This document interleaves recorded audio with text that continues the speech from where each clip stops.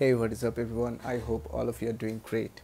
And in today's question we have a conducting rod of mass m and length l is suspended horizontally with the help of two identical non-conducting springs each of stiffness k in a uniform horizontal magnetic field. As you can see in the diagram so these are the two springs. This is the conducting rod. Okay. The rod can slide between two fixed frictionless vertical conducting guides and an uncharged capacitor of capacitance C is connected between, between the guides as shown in the figure. We need to find the period of oscillations of the rod, we need to neglect the resistance and inductance in the circuit and assume that acceleration of free fall to be g. Okay. So, let us first draw the situation when the rod is in equilibrium state. So, both the strings oh sorry both the springs are in stretched condition let that stretching for each spring be x naught gravity is acting downwards okay? So in equilibrium condition we can write 2k x naught equals mg fine? So this will be our first equation. So, and uh, let us just uh, displace the rod slightly from its equilibrium position okay? And release it. So after that it will perform a simple harmonic motion. So at any instant of time let the displacement be y. Gravity is acting downwards okay?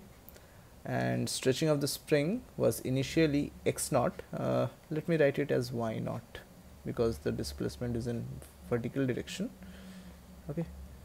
So y naught. So the final stretching of the spring is y naught plus y.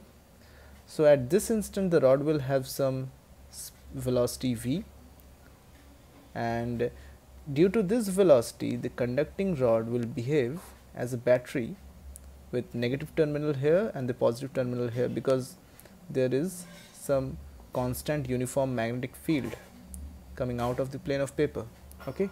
And we know that a moving conductor having a velocity v will behave as a battery and this battery is connected to a capacitor and this will result in charging of this capacitor by some amount so, the moving conductor in presence of a magnetic field will behave as a battery of EMF BVL okay?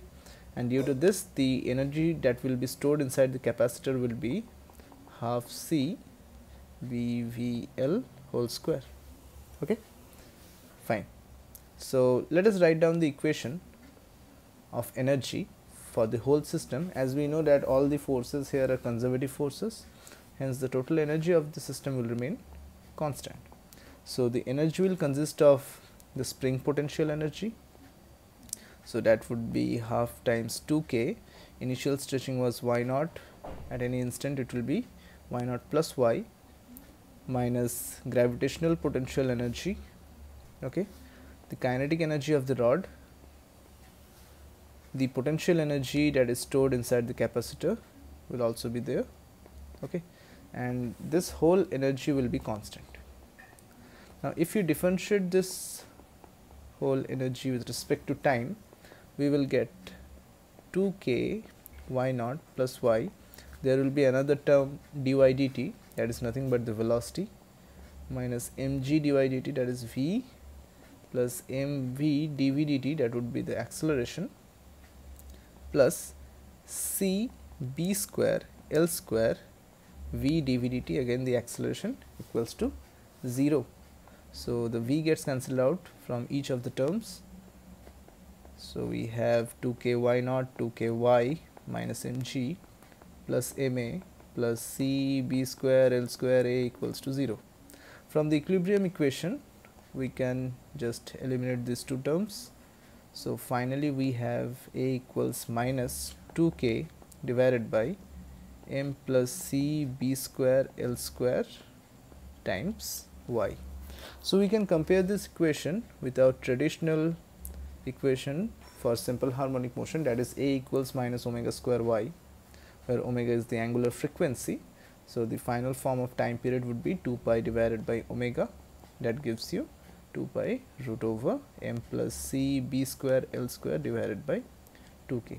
So, this is the final expression for time period of this whole structure. Okay? So i hope you all have found this video helpful and informative. If you're new to this channel please do subscribe and share this video with your friends and teachers. Okay? See you in the next video. Good luck. Peace